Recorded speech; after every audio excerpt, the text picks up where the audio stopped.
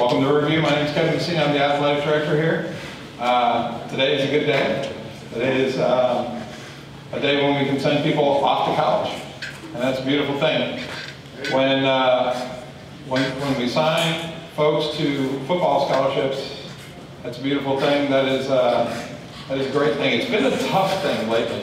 I don't know if you guys follow scholarships and this and that and the other thing, but folks have gotten all these extra COVID years, so that has been eating up the scholarships that are available to give to kids that are coming out now. So um, we're finally starting to get to the point where everybody's out of their COVID years and, and we can get back to business and get some high school kids a scholarship. That the, between the transfer portal and the extra COVID years, it has been very tough to sign a high school athlete to a, a college scholarship. But here we are, doing three one day. So that's a beautiful thing. All right, welcome everybody. We appreciate all the students, teachers, admin, families, and people from the community uh, for coming out today to celebrate this accomplishment of these three young men in our football program. We could not be any more proud of these young men than we are today. These three players signing today will be my first set of seniors uh, signing a letter of intent to play uh, college football in my career as a head coach.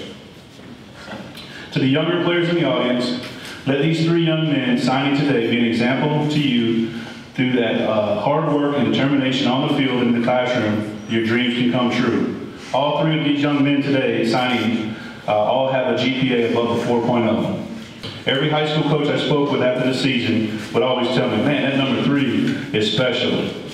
Harry scored 23 touchdowns this season. He ran for 12, caught 10, and even passed for a touchdown. He was voted first team All-Western Conference. He also received the National Football Foundation Scholar Athlete Award. Harry's leadership and playmaking ability will truly be missed, but I think one of his best qualities is how selfless he is. This season, uh, tight end Bryce had six catches for 123 yards, a touchdown, and a two-point conversion, which is pretty good stats for a tight end.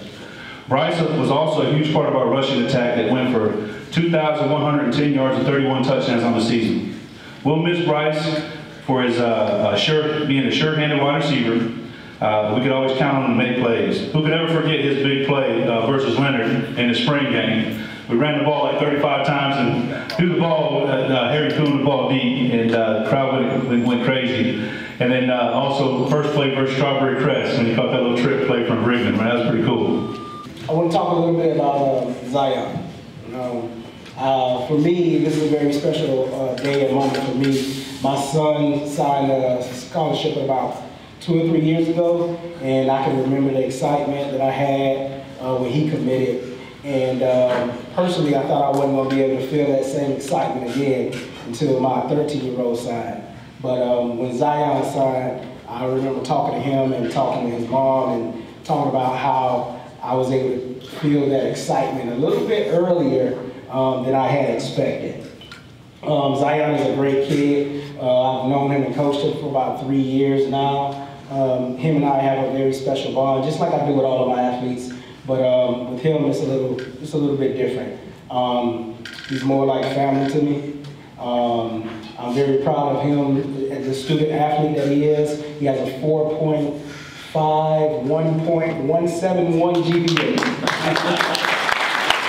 Man, I couldn't be more proud. You know what I mean? I know all the hard work and determination they went through. Uh, you know, to, for it to pay off like this at the end where they're signing uh, to go play college football, it's it's it's the dream come true. You know, this is my first class too. You know, uh, to uh, to go off and play college football as a head coach. So it's uh, it's it's going to be very very. This group of guys are very special to me. I picked Coast Guard just because the opportunity afterwards, trying to become a pilot, it's what's best for me. And then financial, it's the best option.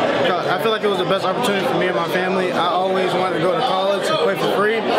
So Livingstone was giving me a full ride and I just took it and I know that I can improve when I get there and I'll just keep making sure I go to college for free. I really like the location, uh, the weather, definitely a lot colder, and just my best option. You see, you get these guys as freshmen. I remember Harry, for example, as a freshman coming in. We throw him at quarterback, and every time we drop back to pass, he runs. You know what I mean? Come to find out senior year, we figure him out, and now he's a, a slot back running back for us. You know, so it's fun. You know, we got guys that are freshmen, sophomores, and juniors that we've been working with, and it's their time now. You know, and, and so just to name a couple, we got guys like Showtime, Isaiah Washington. You know what I mean? Uh, Aaron Turner. You know, and Rico Schultz, guys like that. We're looking forward to them now stepping up and filling those filling those roles on the offensive side. Defensively, we got you know guys like Frankie and Nico and and uh, other guys in our secondary like Marcus Carey. So uh, you know, uh, we're excited. You know, moving forward.